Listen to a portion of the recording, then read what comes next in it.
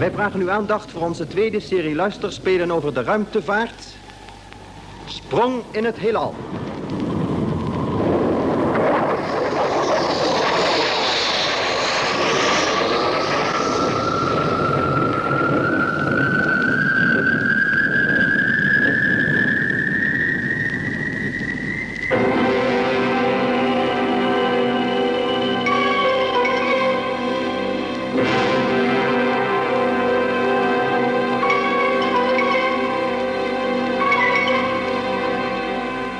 Het Marsmysterie. Een spel van Charles Chilton, vertaling Propeller, regie Leon Povel. Vandaag het twaalfde deel, De Vliegende Bol. De pionier en vrachtvaarder nummer 1 waren veilig op Mars geland. Op de zuidelijke poolkap was een basis aangelegd van waar de expedities konden vertrekken om de rode planeet te verkennen. De eerste expeditiegroep, bestaande uit Jeff Morgan, Jimmy Barnett, Steve Mitchell en ik, had reeds de noordgrens van het zuidelijke poolgebied bereikt. Toen gebeurde het dat vrachtvader nummer 2, terugkomend van zijn tweede reis naar de vrije baan waarin de rest van de ruimtevloot rondcirkelde, ongeveer 80 kilometer ten noorden van de plek waar onze expeditie op dat moment haar kamp had opgeslagen, een mislukte landing maakte. Jeff Morgan besloot terstond op zoek te gaan naar het verongelukte vaartuig. Toen we het bereikten, ontdekten we tot onze verbazing dat de mannen verdwenen waren. Sporen die we in de zachte, vochtige bodem in de nabijheid vonden... toonden aan dat een onbekend toestel bij de vrachtvader geweest was. Daar we desnachts een licht hadden gezien... dat zich in westelijke richting verwijderde... veranderden we ons reisplan... en vertrokken met onze karavaan eveneens in westelijke richting... ten einde te trachten onze verdwenen tochtgenoten op te sporen. Hoe ver zijn we nog wel? 40 kilometer. Nou, het is dat nummer 2 al net achter ons ligt. Anders zou je denken dat we nog niet eens van onze plaats waren gekomen. Heb je ooit zo'n stierlijk vervelend landschap gezien? Als die hier achterlaten, dan vind je de weg nooit meer terug. Moet je eens even zien, Jeff. Eén vlakke, kale boel tot aan die horizon toe. Niet de minste afwisseling. Wah. Dat moet je niet zeggen, Jim. Hè? Nee. Kijk, ginds eens. Daar, door het westen, dicht bij de horizon. Die roze tint, Oh ja. Wat is dat dan? Dat is een van de lichte plekken. Het moet de uiterste zuidgrens zijn van de streek die de naam Noachis draagt. Op het zuidoostpunt van Argieren. Wat je zegt. Zijn dat ook van die moerassige streken net als hier? Nee, dat denk ik niet. Waarschijnlijk is de bodem er net zo droog als in de Sahara. Hier is hij vochtig, omdat hij nog maar enkele weken geleden met ijs bedekt was dat nu gesmolten is. Ja, behalve dan de nacht als het weer bevriest. ja, zegt Jeff, ik... eh, Hm? Ik heb er eigenlijk niks in te zeggen, zie je, maar... Ik heb alleen maar je orders op te volgen. Net als de anderen, maar... Uh-huh. Wat wou je zeggen, Jimmy? Nou, kijk eens hier. Als man tegen man. Ja, Denk je dat wij dat toestel, of wat het dan ook is, dat we dat ooit zullen vinden? als man tegen man, er is niet veel kans op, Jimmy. Waarschijnlijk vindt het ons het eerst. Wat, hè? Ja. Kijk eens, Jimmy. Welk soort toestel het ook is. We weten dat het vliegt. En zelfs heel snel. Dat moet wel, gezien de afstand die het aflegt... in de korte tijd dat wij vannacht het licht zagen. Ja, maar wat is dan je bedoeling, Jeff? In vergelijking met dat ding zijn wij, nou ja, pakweg zijn wij niet meer dan een, dan een bakfiets die een straaljager wil inhalen. Voor de nacht, Jimmy, zullen we meer dan 300 kilometer hebben afgelegd. Nou, en? Nou, dan zijn we dus alweer 300 kilometer dichter bij de plek waar het licht vandaan kwam. En wat dan nog? Misschien komt dat ding vannacht terug naar nummer 2, langs dezelfde route. En dan zien we het. Oh, en dan? Nou, dan krijgen we meteen een betere kijk op waar het vandaan komt. En dan gaan we morgen in die richting verder. Net zo lang totdat we zijn basis bereiken. Basis, ja. Maar waar is dat dan, hè, die basis? En, en, en, wat gebeurt er nou met ons als het ons in de gaten krijgt? Jimmy, vergeet niet dat het wat het ook is... gisteren vier van onze makkers heeft meegenomen. Ja, ja. We moeten alles in het werk stellen om ze te bevrijden. Wie weet wat ze met hem willen doen. Zeg, wie weet wat er gebeurt als dat ding ons ziet en als dat ding naar beneden komt. Ik hoop maar dat het dat zal doen. Hè? Ja, Voor zover we weten, Jimmy, is de hoogste levensvorm die op Mars kan bestaan plantaardig. Wil je nou soms zeggen dat de bemanning van dat schip bestaat uit, uit plantaardige lieden uit een bos peen? Nee, Jimmy. Ik denk dat het zelfs geen Marsmannen zijn. Wat dan? Nou, je herinnert je toch die tijdreizigers op de maan? Hm? Ja, natuurlijk herinner Nou, ik me die dingen. eerst dachten we immers dat het maanmannetjes waren. Dat ze op de maan woonden. Maar dat was toch niet zo?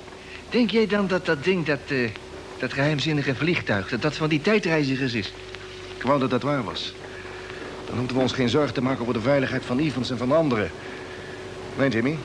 De achtergelaten sporen leken helemaal niet op die van de vliegende schotels van die tijdreizigers.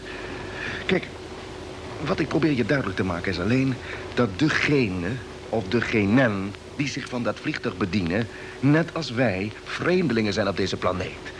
En dat ze dus ergens anders een basis moeten hebben ingericht. En nou hoop ik dat dat vreemde verlichte toestel ons daarheen de weg zal wijzen. Ja, maar hoe wil je dat nou naderen zonder ontdekt te worden? En als we nou ontdekt worden, hè, welke zekerheid hebben we dan dat we niet door de een of ander menselijke bied worden meegenomen? Zoals, ze- zoals Evans en zijn mannen hebben meegenomen. Daar kun je niks van zeggen. Maar dit is zeker. Zolang wij Evans, zijn navigator en de beide andere bemanningsleden niet teruggevonden hebben... is het onze plicht hen te blijven zoeken. Jeff, ben je nou niet bang dat we ons daarmee in het wespenest gaan steken? We weten toch immers niet waartoe die platvoetige koolstronken in staat zijn. Hech, we gaan er misschien allemaal wel aan. Ik ben er helemaal niet fel op. Het lijkt mij veiliger uit de buurt te blijven... en, en ze zelf niet te laten weten dat we er zijn. Nou, daar kom je wel wat laat mee, Jimmy. Zij weten al dat we er zijn. Huh? Denk eens aan het oranje licht dat Mitch en ik zagen op de eerste dag na de landing. Het, het, het vreemde geluid dat we hoorden en dat ons bewusteloos maakte. Het, het feit dat vrijwel terstond na het ongeval van nummer twee... dat dat, dat vreemde vliegtuig rechtstreeks heen vloog. Ja, al die dingen wijzen erop dat iemand of, of, of, of iets... wel degelijk op de hoogte is van onze aanwezigheid hier. denken. Ja, en eens zullen we toch van aangezicht tot aangezicht ermee komen te staan. Waarschijnlijk binnen niet al te lange tijd. Nou, wat mij betreft, hoe eerder, hoe liever. Dan weten we tenminste waar we aan toe zijn. Nou, Jeff, je durft hoor. Ik moet zeggen dat het ons die minder moet bezitten toch mo- moeten meedoen dat het ons zwaar valt. Hallo, expeditiegroep. Oh. Rogers roept u. Ja, daar heb je Frank. Eh, hallo Frank, dit is Jimmy. Hallo, Jimmy. Ik kan je vertellen dat we over de heuvels heen zijn en ons klaarmaken voor de afdaling. Goed zo, Frank. Zeg, heb je nog last gehad met de beklimming? Ja, Jimmy. Ik heb de karavaan moeten afhaken en de wagens ieder afzonderlijk moeten opslepen. We zien nummer 2 nou liggen. Met de kijkers tenminste. Oh, laat mij even met hem praten. Ja, natuurlijk, Jeff. Hier ga je gang. Hallo Frank, hallo Frank. Hallo, captain. Ja, als je bij nummer 2 bent aangekomen, kijk hem dan eens terdege na... en laat me meteen weten of de mogelijkheid bestaat de vracht te bergen... en over te brengen naar de poolbasis. Jawel, captain. Eh, eh, oh ja, je kunt naar binnen door de deur van het vrachtruim. Die van de cabine zit klem. Daar hoef je dus niet te proberen. Eh, goed, captain. Oh. Ja, oh, zeggen, we hebben de ladder laten uitstaan. Je kunt er dus gemakkelijk in. Eh, we hebben ook de luchtsluis gesloten tussen het vrachtruim en de cabine. En de luchtvoorziening werkt. Dus je kunt er desgewenst een nacht overblijven. Oh, nou, dat is niet gek, captain. Nee, nee. En, en daarboven functioneert bijna de hele elektrische installatie ook nog. En ook de radio. Je blijft dus in de gelegenheid met ons en met de rest van de vloot in contact te blijven. Mooi zo, captain. Goed, goed. eh, doe dat dus. Hou regelmatig contact met ons. Oh ja, en zeg Frank, Ja, captain. eh, waar je de nacht doorbrengt, zorg daar dat je op zijn laatst een uur voor zonsondergang binnen bent en dat je al je toegangen goed gesloten hebt. Probeer vooral niet nummer twee of je wagen te verlaten tussen zonsondergang en zonsopgang. Wat er ook gebeurt. Oké, captain. Mooi, mooi. Zorg dat de hele nacht een van jullie de wacht houdt. En als er bezoek komt, waarschuw ons dan onmiddellijk. Nou, daar kunt u op rekenen, captain. mooi. En zorg dat er geen licht naar buiten kan schijnen. Sluit de deur naar de cockpit als je binnen bent hermetisch af. En kijk alleen uit met behulp van je periscoop. Ja, captain. Goed. Goed, dan geef ik even onze positie op.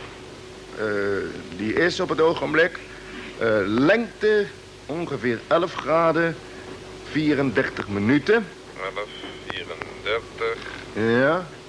Breedte zowat 53 graden 22 minuten. 53, 22. Ja. Heb je het? Ja, captain. Mooi. Nou, we begeven ons op die breedte in zuiver westelijke richting. Roep ons weer op zodra je nummer 2 hebt bereikt, Frank. Nou, en verder, eh goeie moed. Dank u, captain. Dat zal hij wel nodig hebben ook.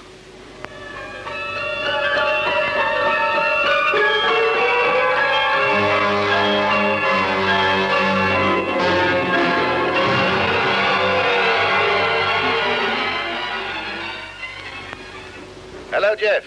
Hallo, Mitch. Ja, hier is Jeff. Het begint donker te worden. Hoe lang gaan we nog door? Ja, ik had gehoopt de rand van de woestijn te bereiken alvorens te stoppen. Dat haal je niet. Nee, Tenminste niet voor zonsondergang. nee, je hebt gelijk, Mitch. Nee, we zullen moeten stoppen. Nou, kom maar naast ons staan. Oké, Jeff. Ziezo, Jim. Het zit er weer op. Hier stoppen we dan maar voor de nacht. Nou, nou, we hebben niet te klagen, Jeff. We hebben bijna 350 kilometer afgelegd. Ik noem het geen kwaad dagtraject. Nee, eigenlijk had ik graag de woestijn bereikt voor de nacht. De woestijn? Ja. De woestijn? Waar zijn we dan de hele dag doorheen gereisd? Door het Hyde Park soms? nou wordt hij mooi. Ik zou ze zeggen dat het enige verschil is tussen deze woestijn en die roze woestijn de ginder... dat de ene vochtig is en de andere droog. Ja, als we tot de rand ervan gekomen waren, dan zou ik het gevoel hebben gehad dat we iets opgeschoten waren. Opgeschoten? Ja. Waarheen? En we weten niet eens zeker of dat vliegtuig wel uit die richting kwam. Het is toch best mogelijk dat het onderweg zijn koers had gewijzigd? Nee, dat betwijfel ik, Jimmy. Ik ben er zeker van dat waar het ook vandaan kwam... dat zeker ergens in de woestijn of aan de overzijde van moet zijn. Maar eh, hoe ver strekt die woestijn zich dan wel uit? Aangenomen dat we ze kunnen doorkruisen. Een eh 7 à 800 kilometer. Dan ziet het er niet eens naar uit dat we er morgen doorheen komen. Ach, waarom hou je er nou toch niet mee op, Jeff? We kunnen immers toch niet meer doen dan we al gedaan hebben. Nou, je kan me er meer vertellen, maar ik ga naar de woonwagen en ga lekker kopje thee zetten. Ja, fijn, Jimmy, fijn hoor. Intussen roep ik Frank nog eens op om te horen hoe hij opschiet. Dat is beter, Jeff, dat is beter. Zeg, zullen we ook wat eten? We hebben de hele dag nog niks gehad. Ja, dat is best, Jimmy. Ga je gang.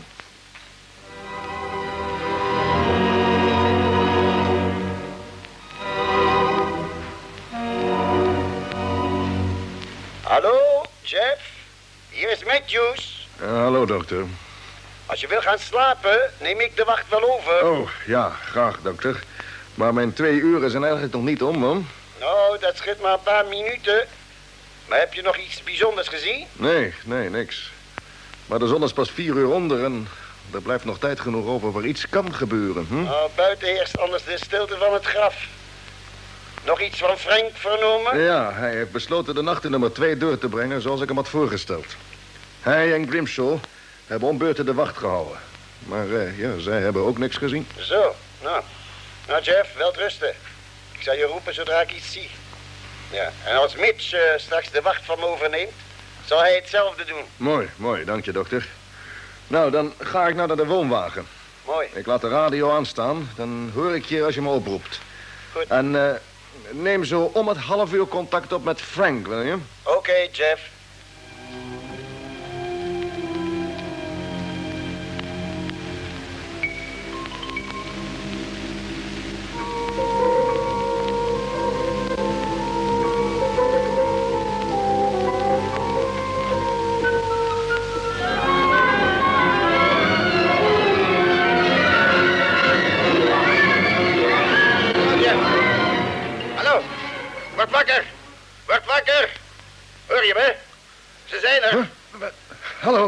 Ja, Mitch. Ja, wat, wat is er? Het licht. Het is er weer. In het noordwesten. Het nadert snel. Oh, ja, dank je, Mitch. Ik ga direct naar de truck. Hé, hey, Jimmy, Jimmy. Jimmy. Wat is er aan de hand? Jimmy, het licht is er weer. Kom in de cabine.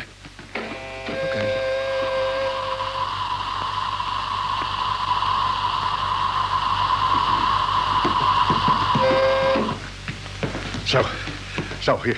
Hallo, Mitch. Mitch, ik ben in de cabine van de truck. Zeg, dat licht, waar is het? In het noordwesten. Het komt over de Argira-woestijn vrijwel recht op ons af. Ja, ja. Ja, Mitch, ik zie het. Eh, Mitch, enig idee hoe snel het naderbij komt? Nou, toen ik je riep was er nog maar een speldeprik.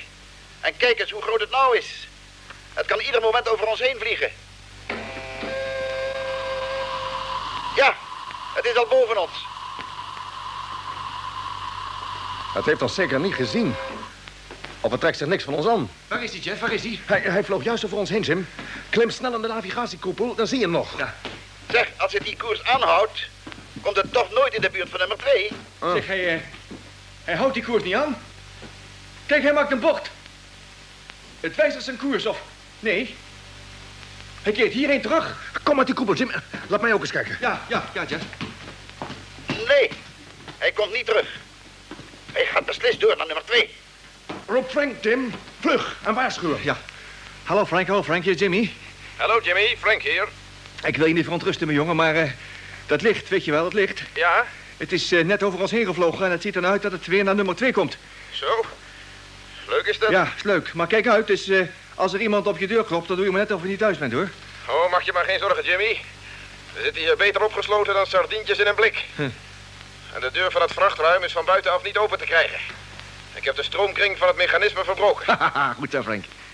Denk je dat we jullie gezien hebben? Nou, me dunkt dat ze ons niet over het hoofd hebben kunnen zien. Ze vlogen recht over ons heen, maar ze hebben zelfs geen seconde vaart geminderd. Hoe hoog waren ze? Ja, hoe hoog? Nou ja, dat valt niet met zekerheid te zeggen. Misschien een, eh, nou ja, 3000 meter. Dat ding is nou absoluut verdwenen. Het moet met razende snelheid vliegen. Oh, het is nu uit ons gezichtsveld verdwenen in jouw richting, Frank. En met die snelheid moet het over een paar minuten bij je zijn. Oké. Als het hierheen komt, zal ik je waarschuwen zodra ik het zie. Dankjewel, Frank. Zeg, en denk eraan. Neem geen risico, hè?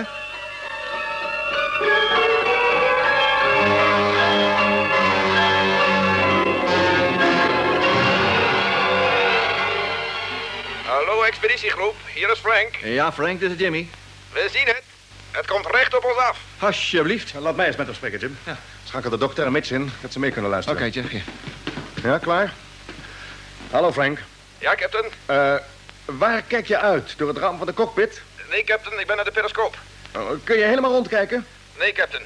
Doordat nummer 2 scheef ligt, kan ik niet meer dan ongeveer 180 graden overzien. Zeg, en, eh, waar is het licht nu? Recht voor ons. Op een hoogte van zo'n 45 graden. Hé, hey, het schijnt nu te hebben gestopt. Het hangt daar tenminste hoog boven de grond. Hangt het daar? Wil je zeggen dat het onbewegelijk is? Ja, captain. Het lijkt wel alsof het iets heeft waar- waarmee het de zwaartekracht opheft. Nu begint hij te dalen. Heel langzaam. Ja, nu, nu is hij bijna beneden. Ja, daar komt hij aan de grond. Het licht is uitgegaan.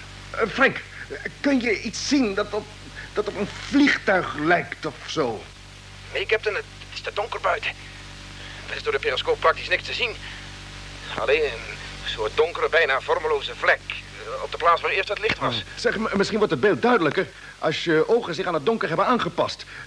Is het eh, licht in de cabine nog aan? Ja, captain. Eh, Doe dat dan uit, Frank. Maar het schijnt helemaal niet naar buiten, captain. Dat begrijp ik, Frank, maar hoe donkerder het binnen is... des te meer kans heb je iets door je periscoop te zien. Ja, goed, captain. Ik zal het uitdoen.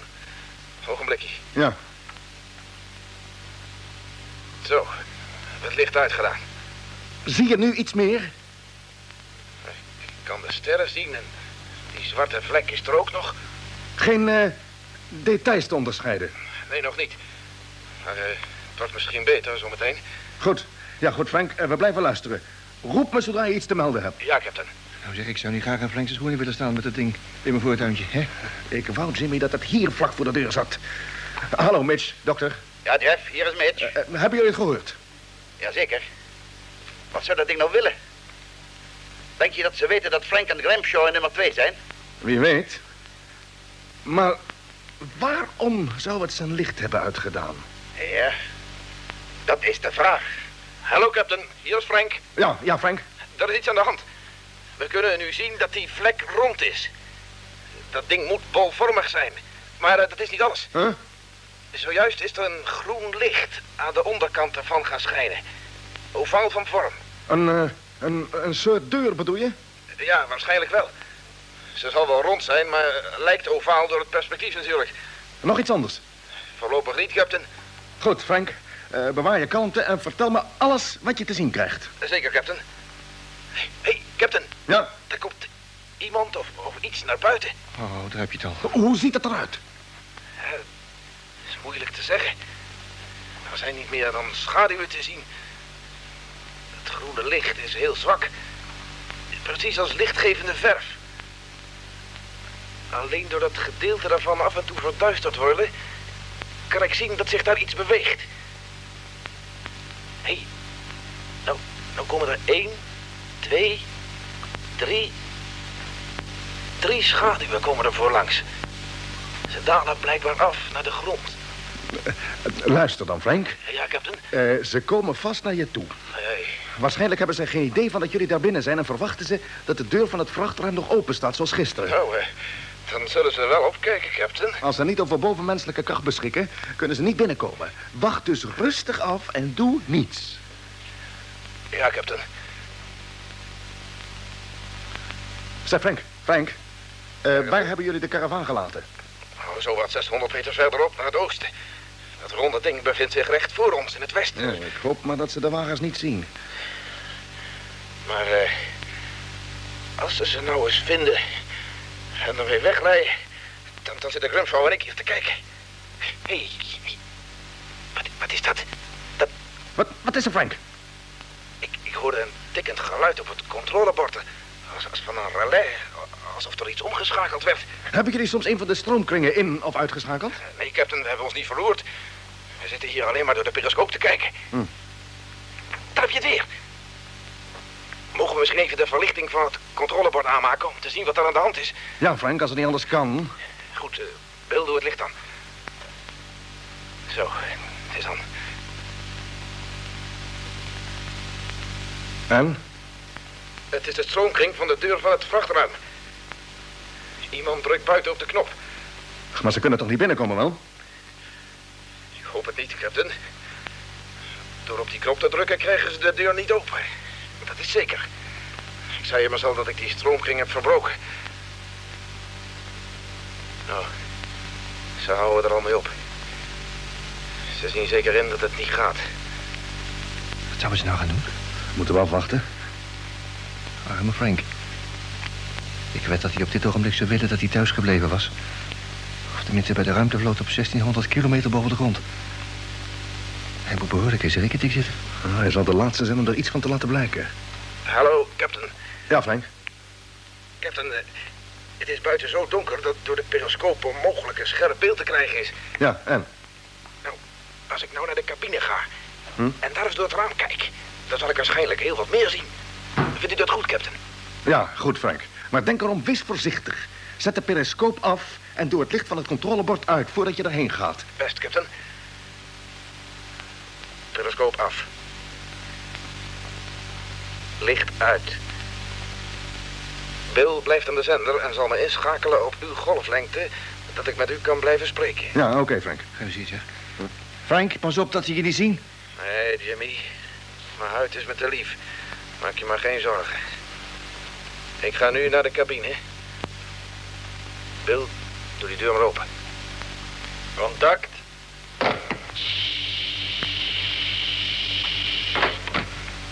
Nou, ik hoop maar dat die, eh, dat die Marsman, of wat dat dan ook mag, mag zijn... dat die kerels niet horen dat die deur geopend wordt. Ja, als ze dat buiten kunnen horen, dan moeten ze beslist kattenoren hebben. Hm? Misschien hebben ze die ook wel. Ik ben nu in de cabine, captain. Mooi, mooi. En eh, kun je nu beter zien? Ja, iets. Dat groene licht is inderdaad een opening in de bol. Oh. En eh, kun je ook zeggen hoe groot die bol ongeveer is? Nou, niet precies. Omdat ik niet weet hoe ver die van me vandaan is. Hm. Maar eh ruw geschat zou ik zeggen... ongeveer 8 à 10 meter in doorsnee. Hm. Ik, ik kan geen enkel detail zien. Daarvoor is het veel te donker. Ja, ja, maar eh, kun je niet door de opening naar binnen kijken? Nee, captain. Die zit te laag. Frank, wat is er? Wat is er? Ik kan nu juist iets van de bemanning zien. Ja? Ah, vage vormen alleen maar. Ze komen net onder onze linkervleugel uit...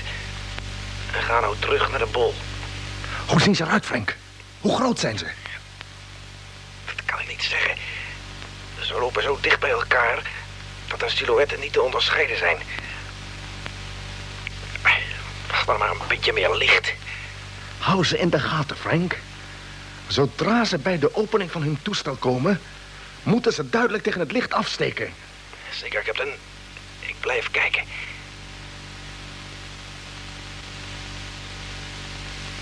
Ze zijn daar nou niet ver meer vandaan. Frank, pas op dat ze jou niet zien. Hallo, captain. Hier Grimshaw. Ja, Grimshaw. Ik heb de periscoop helemaal afgeschermd. Mag ik hem nou uitdraaien? Als we beide uitkijken, is er meer kans dat we iets zien. Ja, goed, Bill, goed. Draai je maar uit. Maar denk wees voorzichtig. Als ze op weg zijn naar hun vaartuig, captain... dan moet dat verder van ons vandaan zijn dan ik dacht. Huh? Ze zijn er nog steeds niet. Zie je ze nog? Nee, captain. Ze zijn opgeslokt door de duisternis. Wacht even. Ja. Nou zijn ze er. Ja, ik, ik zie ze. Ja, ze zijn duidelijk afgetekend. Ja, daar klimt er een naar binnen. Hey, wat gebeurt er? Frank! Frank! Frank, wat is er? Niets, captain. Het is al in orde. Dat grote licht ging opeens weer aan en ik heb me op de grond laten vallen om Oh. niet gezien te worden. Ja, nou... Hebben ze je niet gezien? Dat weet ik niet. En jij, Bill? Bill, zie jij hen? Nee, captain. Dat licht is veel te sterk en schijnt recht in mijn spiegel. Ik kan absoluut niets onderscheiden. Dorie, dan weten we nooit hoe ze eruit zien. Maar ik heb ze gezien, captain. Al was het dan maar een fractie van een seconde. Mooi, Frank. En hoe zagen ze eruit? Waar leken ze op? Zijn het plantaardige wezens? Nee, Jimmy. Maar hoe zagen ze er dan uit? Precies zoals u en ik, captain. Heel gewone mensen.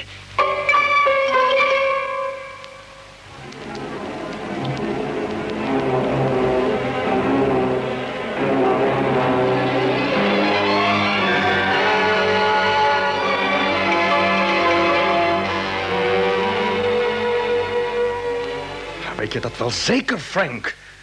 Je hebt je ogen zo moeten inspannen om iets te kunnen zien. Heb je je niet vergist? Ik zou er mijn leven onder durven verwedden, captain. Toen dat grote licht aanging, waren ze even heel duidelijk te zien. Ik kan me niet vergissen. Ja, maar Grimshaw zag ze toch nog niet? Hoe, hoe zou hij ze hebben kunnen zien? Dat licht scheen recht in zijn spiegel en hij kon niks onderscheiden. Heb je hun vliegtuig ook zien vertrekken? Nee, captain. Zolang hun licht scheen, leek het me beter om maar te blijven liggen. Ja. En toen ik even daarna weer durfde uitkijken, was het al weg.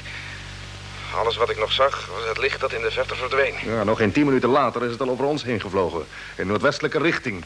Over de Argierenwoestijn. Precies in dezelfde richting waaruit het ook gekomen is. Zeg Frank, Ja, dokter? hoe waren die lieden gekleed? Ja, dat kan ik niet precies vertellen. Ik kreeg de indruk dat ze kleding uit één stuk droegen. Ja? Nauwsluitende kleren, zoals onze overalls. Hadden ze helmen op? Ik heb niet de tijd gehad om daarop te letten, dokter. Ja, ze moeten wel helmen opgehad hebben, dokter. Hoe zouden ze anders kunnen ademhalen? En hoe bleven ze warm daar buiten in die bittere kou? Daar kan ik u ook geen antwoord op geven, dokter. Nou, oké, Frank. Oké, oké. We hebben je nou al meer dan lang genoeg met vragen lastig gevallen. Probeer wat te slapen, hè? Je hebt je rust dubbel en dwars verdiend. Nou, van rusten zal wel niet veel komen, captain. Dadelijk komt de zon op en ik moet nodig een deel van de vracht uit het ruim halen en overbrengen naar onze basis. Nee, nee, nee, nee, nee, Frank. Eerst rusten. Het is tijd genoeg als je vanmiddag met de eerste vracht terugrijdt, hè? Eh, wa- wat zegt u?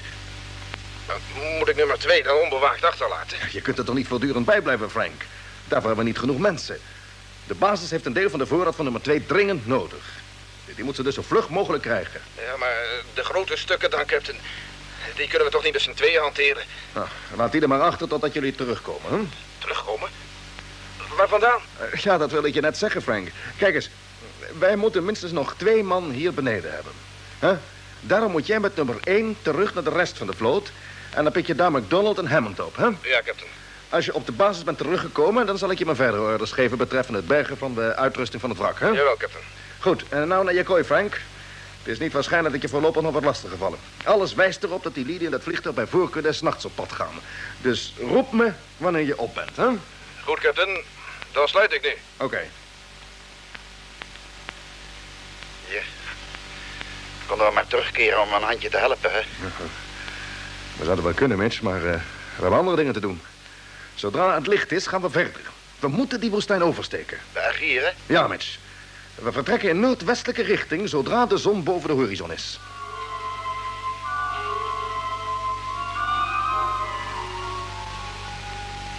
Nauwelijks verschenen de eerste zonnestralen...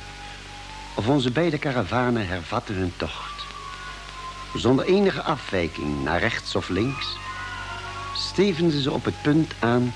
waar die nacht het licht van het vreemde vliegtuig achter de horizon was verdwenen. Na drie uren, waarin bijna 100 kilometer werd afgelegd... begon de zachte, vochtige, purperrode bodem van het Mare Australis... plaats te maken voor het roze zand van de Argierenwoestijn. Tegen de middag hadden we het Mare Australis achter ons gelaten... en baanden de twee stellen voertuigen zich zwoegend een weg door het losse zand... dat achter ons opwolkte als kleine zandstormen. Voor het eerst sedert onze landing op Mars... gaven de zonnestralen die door de ramen van de cabine naar binnen drongen... voldoende warmte om overdag te reizen zonder gebruik te moeten maken... van onze verwarming om de temperatuur in de cabines op peil te houden. Die eerste dag van onze reis door de woestijn legden we bijna 400 kilometer af.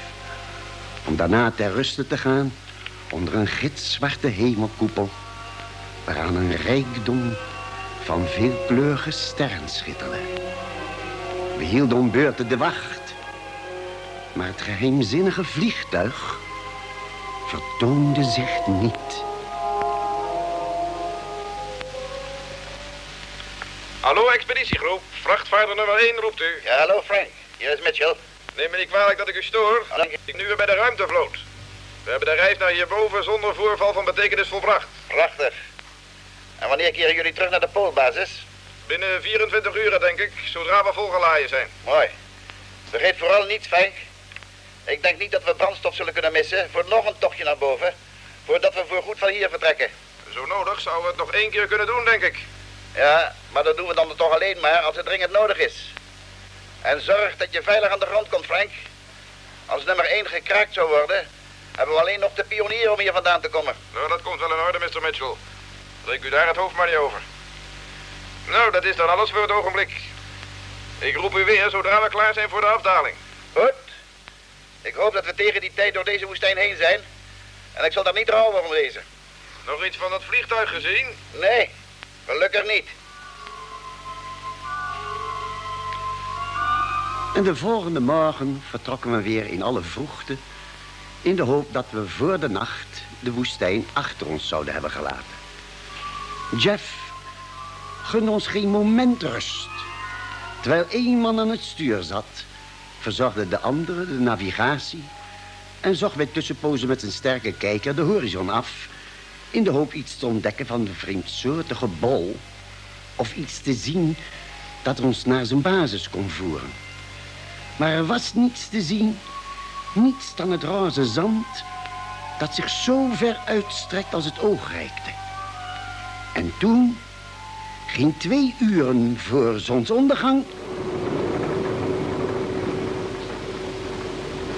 Hé, hey, dokter. Ja? Wat is er aan de hand? Ik weet het niet. Ik weet het niet, Mitch. Er schijnt iets met de motor niet in orde te zijn. Ja, doe het wat kalmer aan, dokter. Je rijdt te hard. Ja, hoe kunnen we anders de Jeff en Jimmy bijhouden? Ze zijn nu al minstens 1500 meter voor ons. Ja. We hebben al veel te lang hard gereden. Heeft Jeff dan geen gevoel voor het mechanisme van deze tractors? Hallo, Jeff. Hallo, Jeff. Hallo, ja, Mitch. Kan je niet iets langzamer rijden? Onze motor loopt warm. Oh ja? Nou, wij hebben er helemaal geen last van. Ja, maar wij wel. We moeten stoppen om te laten afkoelen. Goed. Eh, wij stoppen dan een poosje. Kom je er maar langs, zij. Goed, ja. Zeg, Mitch. De kracht van de motor is nog maar de helft van het normale. Dat geef je wel genoeg. Wel zeker. Stop dan, dokter. Nu meteen. Oké. Hallo, Jeff. Ja, Mitch. Er is beslist iets niet in orde met de motor.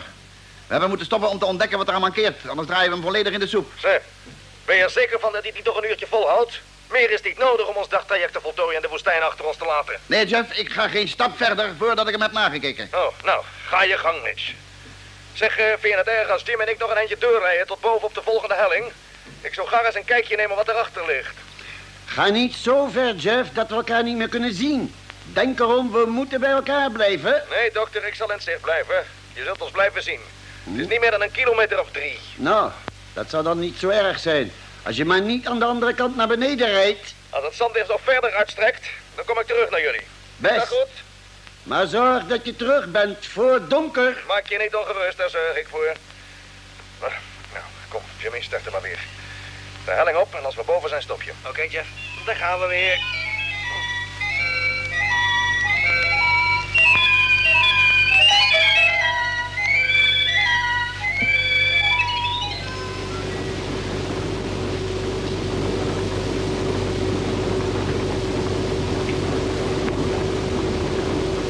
Nou, dat is de hoogste heuvel die we in deze woestijn tot nu toe hebben aangetroffen. En hij is ook nog tamelijk steil. Ja, ja. Nou, we zijn er bijna, Jimmy. Ja, zo, je kunt niet stoppen. Zo is het genoeg. Nou, wat zeg je daarvan? Roze woestijnzand en nog eens roze woestijnzand. En weer een heuvel vlak voor ons. Zie je niks bijzonders? Nee. Wat? Kijk. Naar de top toe wijst de kleur zich van roze in bruin. Ja, nou je het ja, dat is zo. Ik zou er graag eens overheen kijken. Nee, nee, Jeff, nee. Dat betekent dat we uit het gezicht van de dokter en Mitch zouden verdwijnen... en we hebben ze beloofd dat we dat niet zouden doen. We zouden kwaad worden, dan hebben ze nog gelijk in ook. We kunnen in enkele minuten terug zijn. Ik, ik zou het in die tijd bijna te voet kunnen doen. Hè? Verdraaid, ja, dat doe ik. Wat? Wat, wat wil je Ja, uitstappen? waarom niet? Ik wandel erheen. Bevrijdig mijn nieuwsgierigheid en kom weer terug. Ja, maar Jeff, luister nou eens even. Over nog geen uur gaat de zon onder. Stel je nou eens voor dat je een been breekt door zoiets. Ik dan? beloof je dat ik niet uit jouw gezicht zal verdwijnen, Jimmy. Wat er zich ook aan de andere kant van de heuvel bevindt... ik zal er alleen maar naar kijken en daarmee uit. Maar ja, goed, als jij dat nou zo nodig vindt, nou ja. Ja, maar waarom kun je dan niet wachten tot morgen? Ik, weet het niet, Jimmy. Voor mijn gevoel moet ik gaan kijken wat er achter die heuvels ligt. Als ik niet ga, dan weet ik zeker dat ik er de hele nacht over zal liggen piekeren. Nee, ja, dat is niet zo prettig, hè? Nee, nee. Nou, eh, Jim, geef me mijn helm maar. Als ik hem heb opgezet, dan kun je de luchtsluis openen eh, en me uitlaten.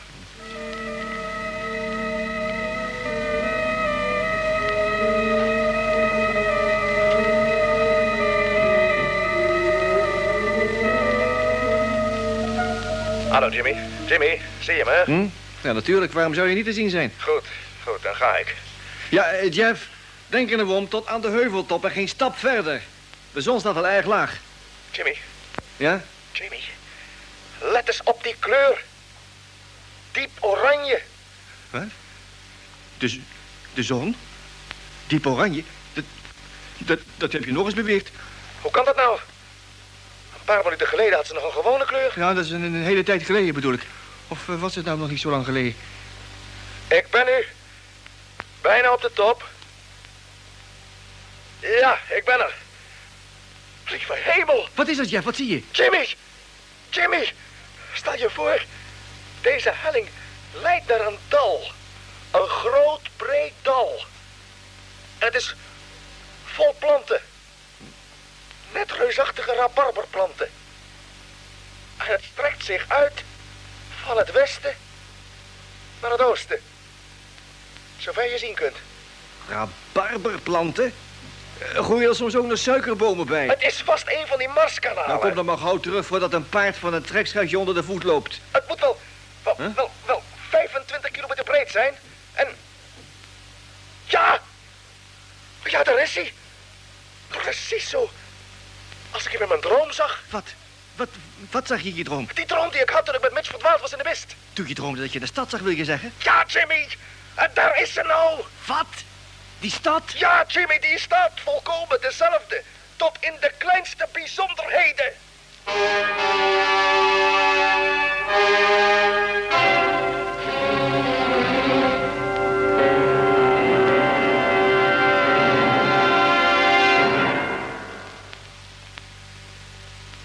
De Vliegende Bol. Dit was het twaalfde deel van onze tweede serie luisterspelen over de ruimtevaart. Sprong in het heelal. Geschreven door Charles Chilton en vertaald door Propeller. De personen waren Jeff Morgan, John de Vreese, Steve Mitchell, Jan van Ees, Jimmy Barnett, Jan Burkes, Dr. Matthews, Adolf Bouwmeester, Frank, Paul van der Lek en Grimshaw, Herman van Elen. Regie, Leon Povel.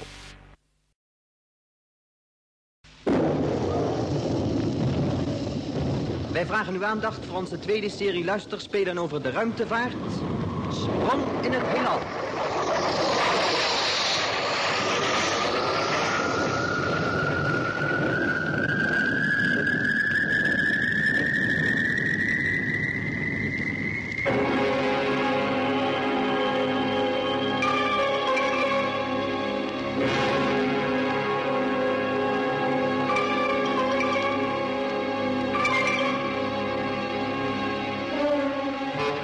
Marsmysterie. Een spel van Charles Chilton, vertaling Propeller, regie Leon Povel. Vandaag het dertiende deel, Onzichtbare Vijanden. Toen vrachtvaarder nummer 2 voor de tweede keer met een lading materialen afdaalde uit de baan die de ruimtevloot om Mars beschreef, werd hij bij de landing, ruim 600 kilometer van onze poolbasis, zwaar beschadigd. Jeff, Mitch, Jimmy en ik snelden hem te hulp. Doch toen we bij het wrak waren aangekomen, ontdekten we dat een onbekend luchtvaartuig ons was voorgeweest en de bemanning had ontvoerd. Frank Rogers, die naderhand de wacht betrok in de beschadigde vrachtvaarder... en daar nog was toen het onbekende luchtvaartuig zich voor de tweede keer vertoonde... wist ons te vertellen dat hij een glimp had opgevangen van de bemanning ervan... en dat hij een volkomen menselijke indruk maakte. Het onbekende vaartuig verdween vervolgens weer... in westelijke richting over de Agierwoestijn. En onze expeditiegroep zette de achtervolging in. Na twee dagen, toen we bijna door de woestijn heen waren... kreeg de tractor, waarin Mitch en ik ons bevonden... motorpech en moesten we stoppen. Maar Jeff Morgan, nieuwsgierig... naar wat daarachter kon zijn, achter die heuvelrug... en drietal kilometers verderop... reed nog een eindje door... stapte vervolgens uit... en beklom de helling.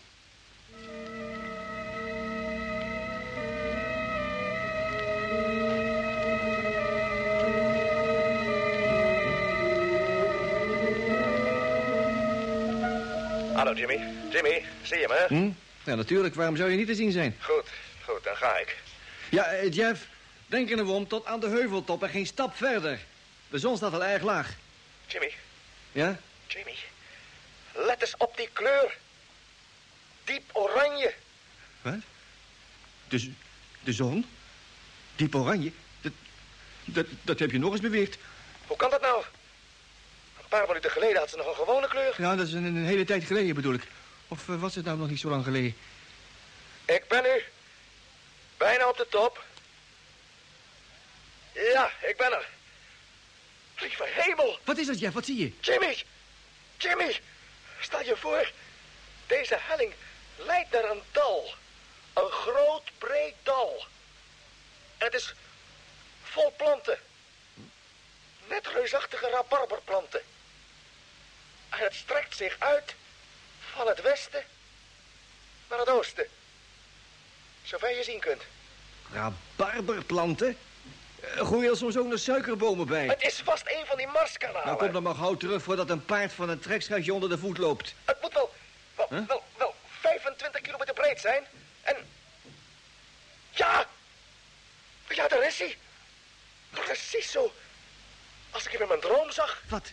Wat, wat zag je in je droom? Die droom die ik had toen ik met Mitch verdwaald was in de mist. Toen je droomde dat je de stad zag, wil je zeggen? Ja, Jimmy! En daar is ze nou. Wat? Die stad? Ja, Jimmy, die staat volkomen dezelfde. Tot in de kleinste bijzonderheden. Zeg Jeff, weet je nou wel zeker dat je niet weer droomt? Nee, nee, daar ligt ze. Daar ligt ze, zeg ik je. Ik kan zelfs de planten zien die op de daken van de huizen groeien. Ja, maar als er huizen zijn, moeten er ook mensen zijn... of tenminste wat hier voor mensen doorgaat. Jeff, kom nou terug voordat iemand je in de gaten Een krijgt. paar minuutjes, Jimmy, een paar minuutjes. Ik moet zoveel mogelijk ervan me opnemen. Jeff, over een paar minuten is de zon onder. Kom je nou terug of, of kom je niet terug? Of moet, ik, je- of moet ik je maar halen? Nee, nee, goed. Nou goed, Jimmy, ik kom al. Nou goed, we gaan terug naar Mitch en de dokter... anders zijn we er niet voor het donker.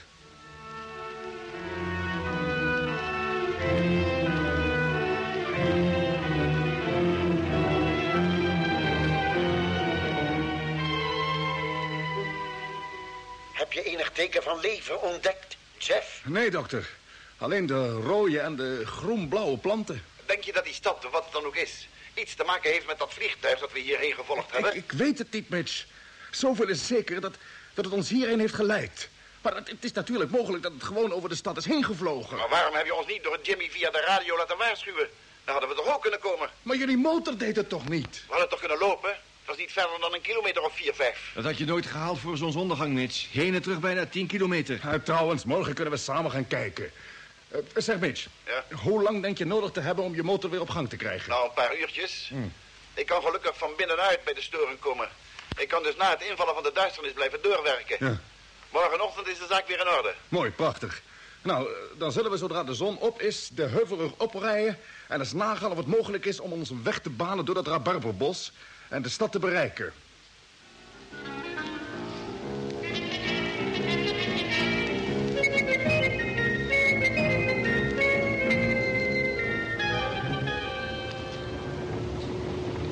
Hoe ver nog, Jeff? Tot aan de top. Daar stoppen we. En dan nemen we een kijkje alvorens verder te gaan. Alright. Jimmy, Ja? let op. Je kunt nu ieder moment stoppen. Je zegt dat maar, Jeff. Ja. Ja, Oké. nu. Lieve hemel, is dat nou dat dal? Nou, zeg, dat, dat moet wel een 30 kilometer breed zijn. En minstens 300 meter diep. En die stad, zeg. Zeg, dat is net een van die, die oude Indiaanse Pueblos, zoals je trouwens al zei.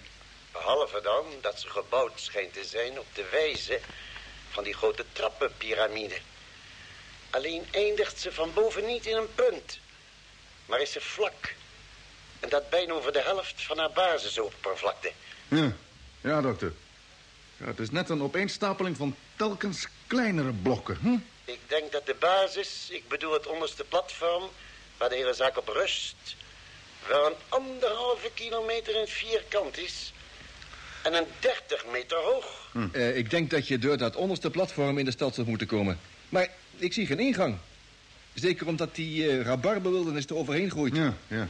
Zeg, denk je dat die planten veel weerstand zullen bieden, dokter? Eh, Of zullen we met onze trucks er een weg doorheen kunnen banen? Nou, ik zou niet weten waarom niet. Zo heel stevig lijken die dingen me niet. Ja, Het is in elk geval te proberen. ja. Ja, en, en, maar eh, ja, wat denk je van die bodem? Zou die hard zijn of eh, moerassig of zo? De planten groeien zo dicht dat je dat niet kunt zien. Maar bedenk dat hij vrij hard moet zijn om al die planten te kunnen dragen. Oh, ja. Nou, goed, dokter. Dan dalen we af naar het dal. Maar wees voorzichtig, Jeff. Kalmpjes aan, hoor. Ja, natuurlijk, natuurlijk. Zeg, Jim, Ja, Jeff. ga jij nou aan het stuur, dan kruip ik in de navigatiekoepel... en ik geef je aanwijzingen voor de aan te houden richting, hè? Waarom nou? Ik kan toch zeker zelf wel de richting aanhouden... eruit te kijken door het raam van de cabine. Op het ogenblik nog wel, Jimmy. Maar als je straks bij die planten bent, niet meer. Ze zijn zeker een halve meter hoger dan het cabineraam. Ja, ja, je hebt gelijk, dat is waar, ja. Oh. Nou, vooruit maar. Start de motor en niet sneller rijden dan 8 à 10 km per uur. Oké, contact. En daar gaan we. Ja. Ja, oké, Mitch. Blijf dicht achter ons. Komt in orde, Jeff. Hallo, expeditiegroep. Ruimtevloot roept u. Ja, Frank, hallo. Hier is Jimmy. Wil je me de captain even geven, Jimmy? Oh, een momentje. Hier, eh, Jeff. Dank je. Hallo Frank, hier is Jeff Moore. Hallo, captain. Nummer 1 is nu geladen en McDonald en Hammond zijn aan boord. Nou, We zijn klaar om naar beneden te komen. prachtig, Frank. Eh, kom maar zodra het je goed dunkt, hè? Eh, hoe gaat het met de vloot? Alles oké, captain. Maar eh, als ik hier weg ben, zijn hierboven nog maar twee man over. Ja. Ik ben bang dat ze het werk hier niet goed zullen aankunnen. Nou, ze zullen het toch zo goed mogelijk moeten doen. Kijk, eh, de cartografie moet regelmatig voortgang vinden... en ze moeten voortdurend in radioverbinding blijven met onze poolbasis... en met de controle op de aarde. Ja, dat weten ze, captain. Nou, goed, ja. Zeg, eh, van welk nummer vormen die tweede bemanning? Van nummer 4, captain. Van vier, oh. In de overige vrachtwagens is nu geen mens meer. Nee, nee, nee. Zeg, Frank, eh, hoe vaak kun je nog naar boven? Nou, nog maar één keer, captain. Eén keer. Eh, Meer brandstof mogen we niet verbruiken... als we tenminste de rest van de vloot mee terug willen nemen... naar onze basis op de maan. Ja, dat is de bedoeling, ja. Eh, niet waar? ja. Nou, Frank, dan zou ik zeggen, kom maar naar beneden. En laat ons direct weten wanneer je geland bent. Oh, wacht even, nog iets. Ja, captain? Eh, we zijn nu in de Argierenwoestijn en die zijn we bijna gepasseerd. Onze positie is 40 graden 14 minuten westerlengte, 40, 14, 40 14 en 30 graden 27 minuten zuiderbreedte. 30, 27. 30 27, juist. We maken ons nou gereed om een kanaal over te steken. Wat zegt u? Ja, Frank, dat, het loopt vrijwel van west naar oost... en is vol eigenaardige planten die zowat eh, nou, een meter of twee hoog zijn. Dus eh, het is inderdaad plantengroei die de kanalen groen kleurt? Ja, Frank, het is plantengroei. En, en, en heel weelderig ook. Maar dat is nog niet alles. Zo? Nee, eh, kijk, we gaan proberen ons een weg er doorheen te banen om een onderzoek in te stellen. Ja, naar iets dat zich er middenin bevindt. En dat eruit ziet als een, als een ommuurde stad.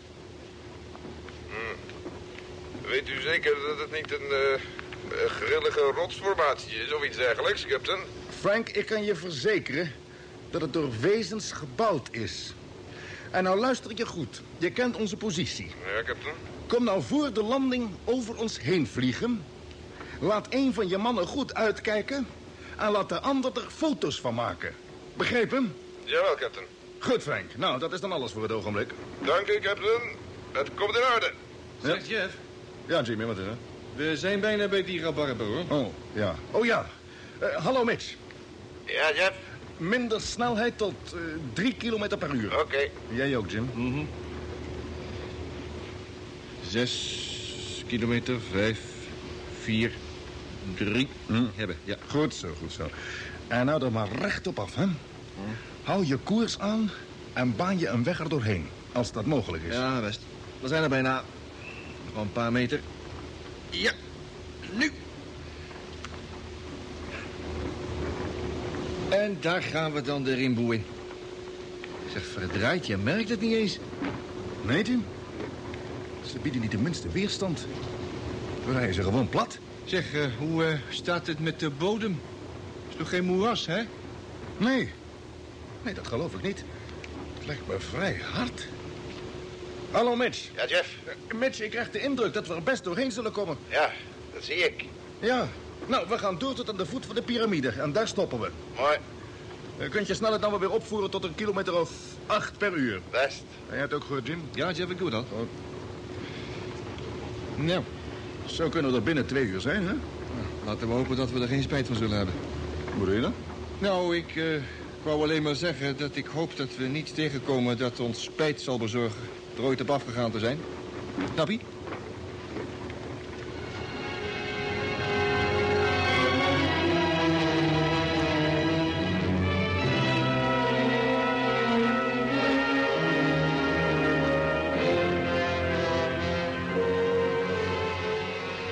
Hallo, Jeff.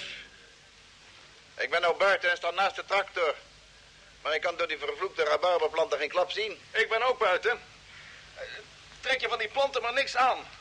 Bij de geringste druk knappen ze af als luciferhoutjes. Zo, Ja, probeer het maar eens. wel alle mensen. En ze zijn hol, als bamboestengels. Ja. Nou, baan je een weg er doorheen, Mitch. En ga naar de stadsmuur. Goed, Jeff. En jij, Jimmy, Ja, Jeff? Verbind ons met de dokter, William. Oké. Ja, hier ben ik, Jeff. En? Al iets te zien? Oh, die muur is wel stevig, dokter. Wat is het voor materiaal? Moeilijk te zeggen. Is het baksteen? Weet het niet. Als het baksteen is, moet die bekleed zijn met een soort, soort pleisterwerk. Oh, De muur is volkomen glad. is er een ingang? Of eh, doorgang in? Nou, ik heb er nog geen gezien. Wacht, ik zal er eens omheen lopen. Mogelijk is er wel zoiets als een ingang, maar dan aan een van de andere zijden. Wat? Moeten de dokter en ik intussen hier in de trucks blijven zitten? Nou, als je dat niet graag doet, Jimmy, dan kun je ons in de trucks volgen, hè? Rijd dan stapvoets en blijf op een afstand van tenminste 10 meter van de muur vandaan. Zouden jullie nou niet beter weer naar binnen kunnen komen? Wat zou je daar nou aan wegbalen doordat rabarberbos om die hele stad heen... Maar we hoeven ons geen weg Snap te banen, niet. Jimmy. Er loopt een soort pad ter breedte van een, van een meter langs de muur. Oh, Nou, kom Jimmy, laten we starten. Ik blijf vlak achter je. oké, daar gaan we.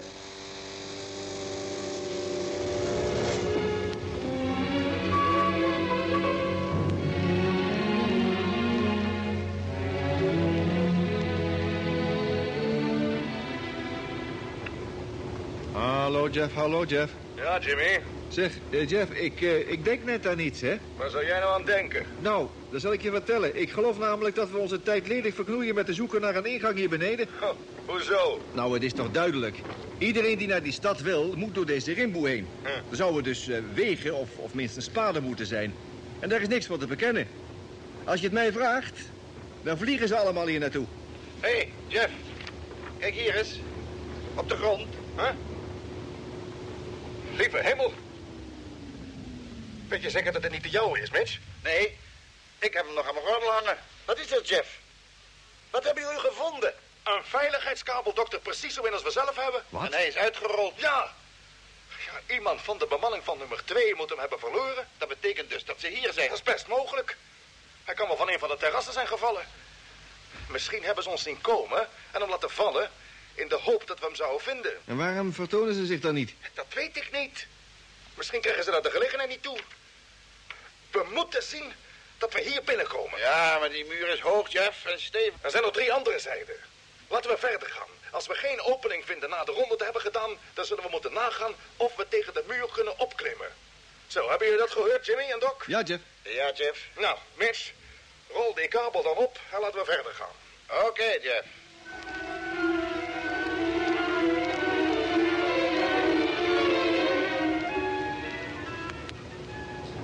Stoppen, Jimmy.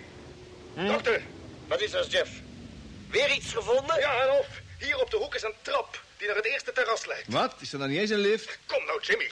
Nou, u rijdt nog een eindje door tot op de hoek hier. Dan kun je de trap zien. De treden zijn in de muur uitgehouden, zodat je ze niet ziet voordat je er vlakbij bent. Trek als de weerlicht jullie ruimtekostuums aan en kom dan hierheen. Kijk. We zijn zo bij je, Jeff.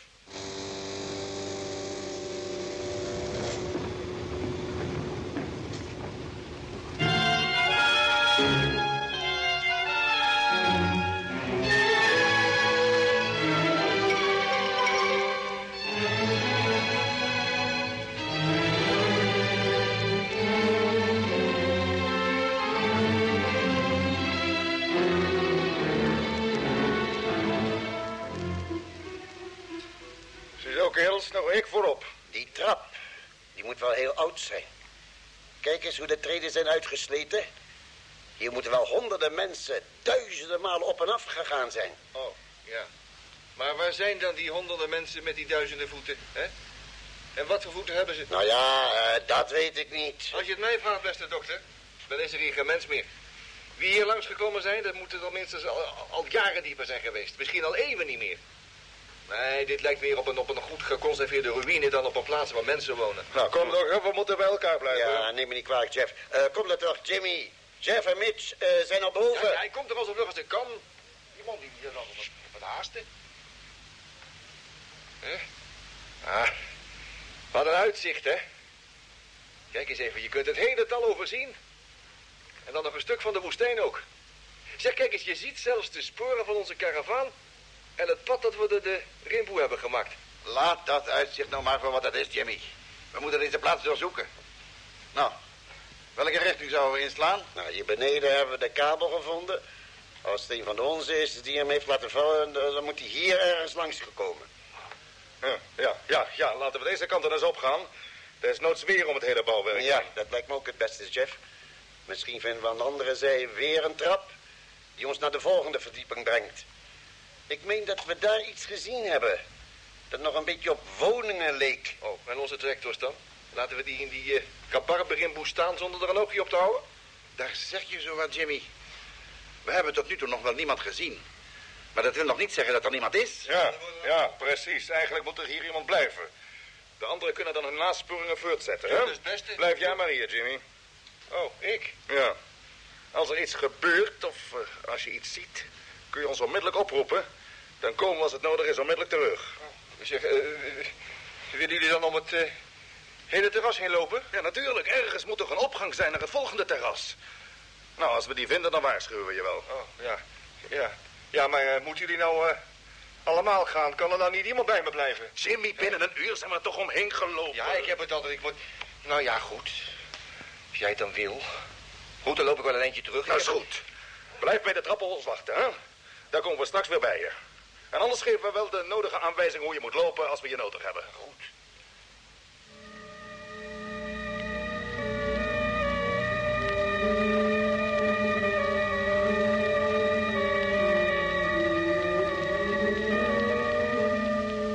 Hallo, expeditiegroep. Frank Rogers roept u. Hey, hallo Frank, hier is Jimmy. Wij naderen nu het punt dat je ons hebt opgegeven... en kunnen binnen enkele minuten over jullie heen vliegen. Dat is best, Frank, dat is best. Zegt, eh, de plaats die wij dan de stad noemen, hè, die ligt precies in het midden van het kanaal.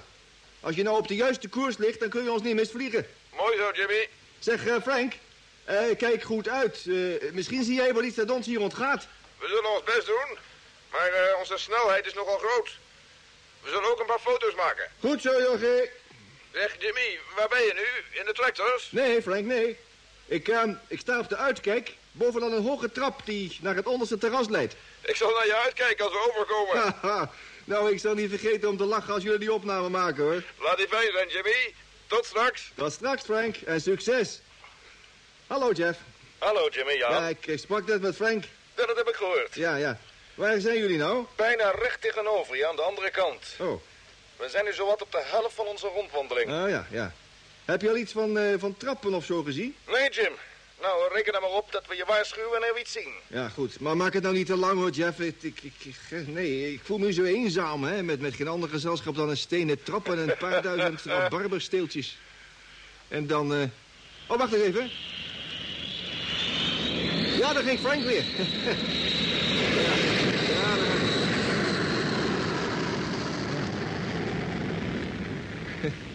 Ik hoop maar dat hij goede foto's heeft gemaakt. ja. Hallo, Jeff. Hallo, Jeff. Nee, waar helemaal dat... Net doet die radio het niet meer. Wat... Wat, wat is dat? Dat geluid? Daar heb je weer, dat... Hetzelfde geluid van... Hallo, Jeff.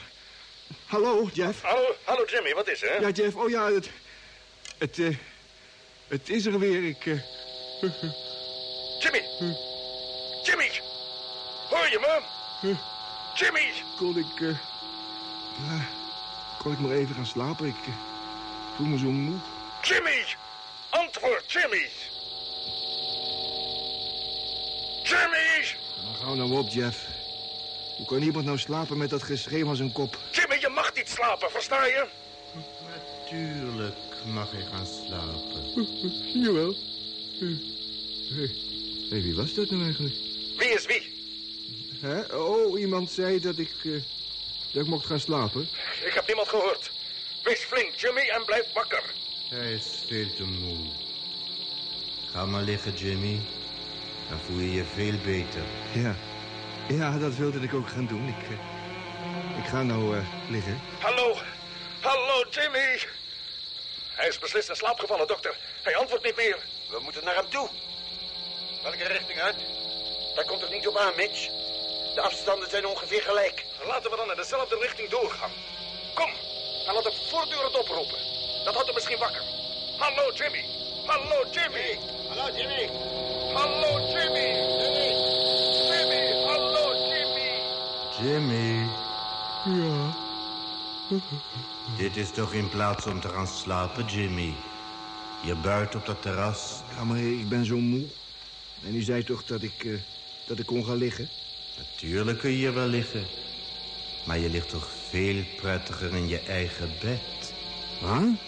Hoorde ik Jimmy niet praten? Ja, dat dacht ik ook, dokter. Hallo, Jimmy. Jimmy, hallo. Ja, maar waar is mijn bed dan? Ik hoor hem weer. Hij zegt iets over een bed. Loop over het terras. Langs de binnenmuur. Ja. Nee, nee. Niet die kant op. De andere kant. Jimmy. Hier langs. Jimmy, wat heb je toch? Ja. Zo. Oh, wat ben ik moe. Oh, ik krijg het zo koud. Je wordt zo weer warm. Hij zegt dat hij het koud heeft. Dat wordt een herhaling van die geschiedenis op het ijs. Ik ben bang dat al ons roepen niet zal uithalen. Het enige wat we kunnen doen is maken dat we zo gauw mogelijk bij hem komen. Ja, je hebt gelijk, dokter.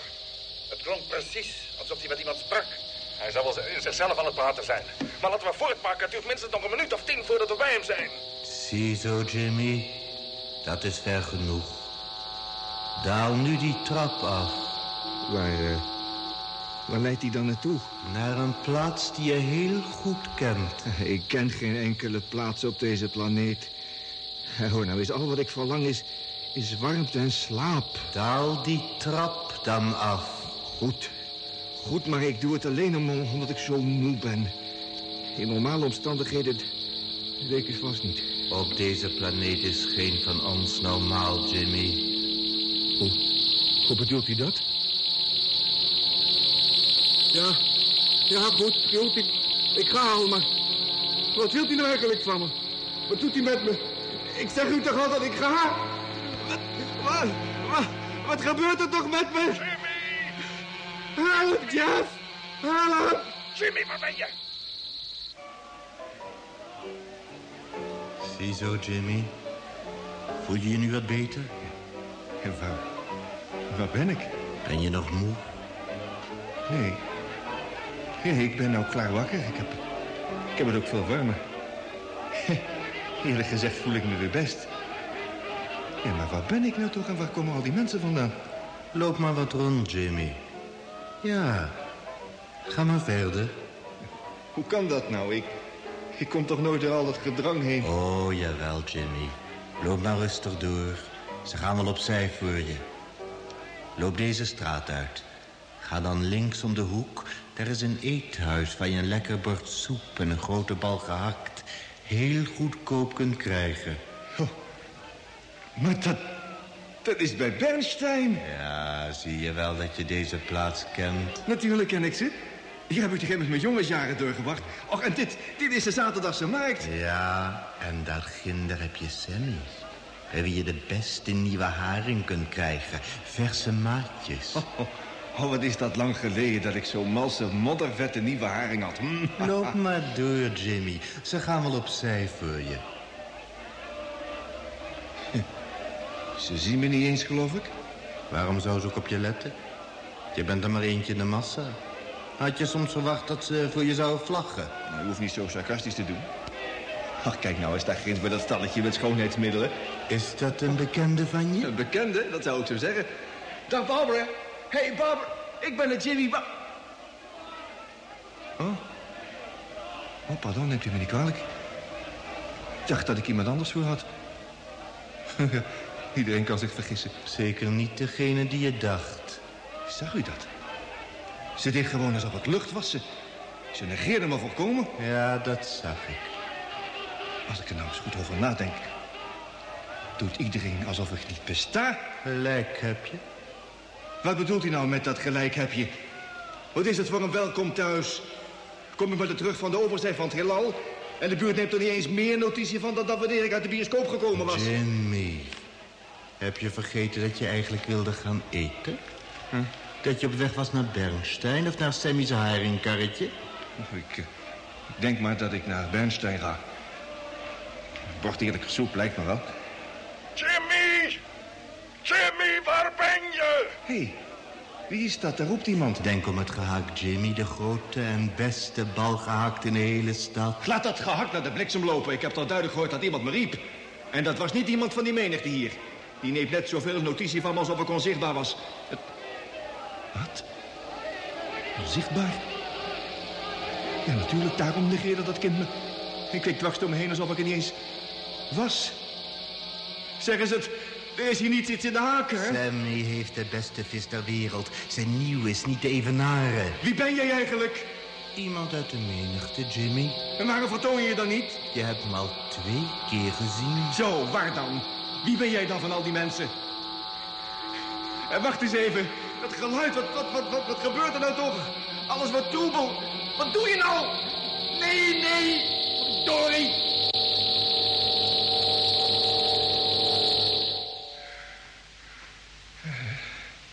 Zo. Ja, voel je je nu beter? Ja, ja, dat, dat is beter. Het prettigste bed waar ik ooit in geslapen heb. Ja, zelfs al kraakt het een beetje. Ja, oost-west, thuis best. Ja. En wat bedoel je met, met thuis? Ben je dan niet thuis? Ja, verdraaid, het is mijn kamer. Dit is mijn eigen kamer. Daar heb je mijn fotoverzameling aan de buur. Met handtekeningen van Neville Duke, van Propeller en Charles Tilton. Met de beste groeten. Welke dag is het vandaag eigenlijk? Dinsdag. Dinsdag. Ja, maar hoe laat is het dan? Laat. De zon staat al heel hoog aan de hemel. Lief helpen. Ik had meneer Bernstein beloofd dat ik tegen tien uur een handje zou komen helpen in zijn restaurant. En waarom zijn ze me nou niet komen wekken? Ma- Mams! Mams! Alsjeblieft, dan was dat over twaalf. Billy Cottons bent op de radio van meneer Vandenberg. Het is altijd dezelfde geschiedenis. Je kunt, je kunt je eigen woorden haast niet verstaan door dat lawaai boven je kop. Waarom kan hij je nou niet een beetje zachter zetten? Mams! Ze is al weg, Jimmy. Waarom? Ze is naar de Grazels, de kleermaker, om een pak voor je te kopen. Maar toch niet dat pak met dat gekke streepje? Ze zeiden dat het een hele mooie stof was. Ja, en een hele dure.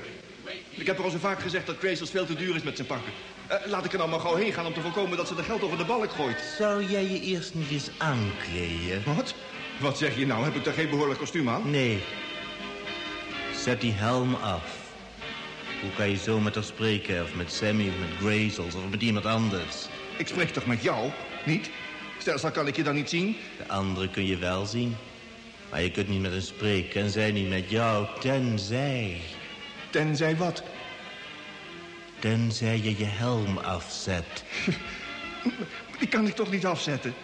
De atmosfeer hier op aarde heeft een, een zoveel hoger zuurstofgehalte dan op Mars... dat, dat, dat één turf ervan dodelijk voor me zou zijn. Die mensen op straat zijn anders levend genoeg. Ja, dat kan wel, die zijn er al gewoon. Jij kunt er ook aan wennen. Licht je helm maar even op. Huh? Probeer het. Doe dan. Nee. Nee. Het voorschrift is dat je de helm te alle tijden gesloten moet houden. Behalve in de drukcabine. Hier luidt het bevel dat je je helm moet afzetten. En orders zijn orders. En orders moeten worden opgevolgd. Wie ben je eigenlijk wel dat je mij bevelen kunt geven? Wie gaf je eigenlijk verlof om hier binnen te komen in mijn kamer... en mij iets te bevelen? Zet je helm af. Ik denk er niet aan. Doe die helm af als ik het zeg. Wat verdikke me, heb je ooit zo'n paar jongen meegemaakt? Zijn eigen moeder tegenspreken. Ja, maar ik, ik, eh, mams, ik, ik, ik mag hem niet afzetten. Die, die kamer hier staat niet onder druk. Zeg, ik zal je onder druk zetten als je niet gauw doet wat ik je zeg. Pa wacht al op je, bij Grazels om dat pak te passen. Ja, kom je nou mee of moet ik hem soms gaan halen? Wat is er hier aan de hand? Crazy? Hoe kan ik hier naar de radio luisteren met al dat kabaal? Nou, zie je nou wel, mams? Je hindert de bovenburen. Meneer Vandenberg kan niet eens naar zijn radio luisteren. Ja, wie zou er nou naar zo'n radio willen luisteren als hij heeft? Oh, het is een hele goede radio, mams. Hij is zo goed dat hij er niet eens korting op kon krijgen. Zo? Nou, dan is hij wel gek dat hij hem gekocht heeft. En nou die helm af en kom mee naar Grazels. Of moet ik hem van je hoofd halen? Nee, mams, nee. En, eh, ik, ik, kan ook niet meegaan, want ik, ik, ik heb nog niet ontbeten. Zo, dacht je soms dat je kon eten met die viskom over je hoofd? Niet doen, mams, niet doen! Niet doen, als je hem eraf neemt, dan stik ik. Een Marsbewoner kan niet ademen op aarde. Laat los, Nee. je. Doe die hand weg. Nee, doe hem niet af. Mams, u weet niet wat u doet. Wat doet u toch? Wilt u die jongen En toen gaat vermoorden? u nou naar boven en bemoei u met uw eigen zaken. Vandenberg, houdt u er toch tegen? Ze weet niet wat ze doet. Doe die hand weg, versta je? Kom, Jimmy, wees nu eens lief. En doe wat moeder zegt. Ja, Dat kan ik niet. U begrijpt het niet. Ze heeft de sluiting losgemaakt. Mams, mams, je hebt de sluiting. Alsjeblieft. Ik heb het altijd wel gezegd, zo'n ruimtekostuum is niets gedaan voor een jongen. Ze halen zich de gekste ideeën in het hoofd. Had hem liever een goed boek gegeven. sta daar toch niet zo te kletsen. Help me liever een handje. Zeker, mevrouw Barnett. Ik zal zijn armen vasthouden, dan kunt u de helm losmaken. Laat me los, laat me los. Oh, nou, Jimmy. Zo spreekt men niet tegen zijn Zo, moeder. zo. Nou zullen we hem... Ja, houdt u hem nog even vast? Nee, nee, ik sterf. Ik sterf. Kalm, Jimmy. Jimmy! Jimmy! Wat zou er toch met hem gebeurd zijn, chef? Oh, daar komt Mitch terug van de tractors. En Mitch, Oh, geen spoor van hem te bekennen. heb je in allebei de cabines gekeken? Ja, ook in de wijde woonwagens. Maar hij is er niet. En dan is, dan is hij op stap gegaan naar de tegenovergestelde richting als wij. Of hij dwaalt ergens rond in het dal. Tussen de planten. Nou, hij een spoor moet achterlaten, Mitch. En de enige sporen die te zien zijn, zijn die van onze karavaan. Dan moet hij ergens hier nog boven zijn. Of misschien hogerop. Op het tweede terras. Nou, hoe zou je daar wel gekomen zijn? Wel, er was een trap vanaf de grond hierheen. Maar dunkt dat we dus redelijkerwijs kunnen verwachten dat er ook een toegang naar boven is. Maar we hebben toch al aan twee zijden van dit terras grondig ge- gekeken... en er geen spoor van een trap of een opening gevonden. Dan lijkt het me dat de twee andere zijden ook eens grondig moeten onderzoeken. Maar daar komen we toch juist vandaan? Ja, wel maar op een draf. Het is best mogelijk dat daar ergens een opening is waaraan we voorbij gelopen zijn. En als Jimmy nou eens in een andere richting is weggegaan? Als hij doorloopt, moeten we hem halfweg ontmoeten. Maar eh, we zullen ons groepje spitsen. Dan kunnen we hem niet missen als hij nog op de terras is. Dat is goed. Goed, ga jij dan die kant op, Mitch? Misschien haal je hem om de hoek in. Goed, ja. Goed, en de dokter en ik gaan terug in de richting van waar we gekomen zijn, hè? En dan onderzoeken we tegelijkertijd tegen de muur. Als jij Jimmy vindt, dan geef je ons een centje. En als wij iets vinden, doen wij hetzelfde. Goed, ik ga al. Maar eh, kunnen jullie niet wat blijven praten met me? Dan voel ik me niet zo alleen, hè? Best, Mitch. Nou, succes. Kom, dokter. Ja? Kijk goed uit je ogen. Goed.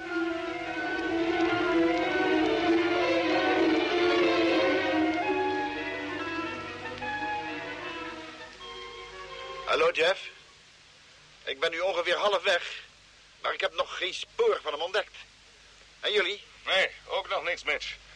Alleen maar één lange, vlakke muur. Hé, hey, uh, wacht eens even, Jeff. Wat is dat hier? Heb je iets gevonden, dokter? En of? Een smalle trap. Uitgehouwen in het voetstuk van het volgende terras. Denk je dat Jimmy die trap is opgegaan? Ja, het, het is mogelijk. We zullen eens gaan kijken. Ja. Ga jij gewoon door, Mitch. Loop desnoods het hele blok om, als je dat nodig vindt. Ja, zegt Jeff. Die trap is zo nauw dat je je bijna omhoog moet persen. Doorzetten, dokter. Ja. Het lijkt me daarboven bijna de enige plaats waar ik kan zijn. Ja, ja, wa wacht. Ik, ik ben er. Bijna. Ziezo. Ik ben er. Zo, en uh, wat is er te zien? Niets anders dan beneden. Aan deze kant tenminste. En aan de andere kant. Lieve hemel, dokter. Ja? Dokter, kijk daar eens. Bijna op de hoek. Wat? Daar ginds heb je Jimmy. Ja, verdraaid. Maar wie buigt zich daar over hem heen? Wat doet die vent? Het lijkt wel of hij probeert Jimmy zijn, zijn helm af te nemen. Wat wil hij? Hem vermoorden? Wie het is, weet ik niet. Maar hij draagt een overal. Precies als wij. Daar. Nou heeft hij ons gezien. Hij komt overeind. Goeie genade. Dokter. Ja? Zie je niet wie het is? Dat is Evans. De piloot van nummer twee. Ja, maar hoe kan hij zo leven? Hoe kan hij ademhalen? Hoe bedoel je? Zie je dan niet, dokter, dat hij geen helm draagt?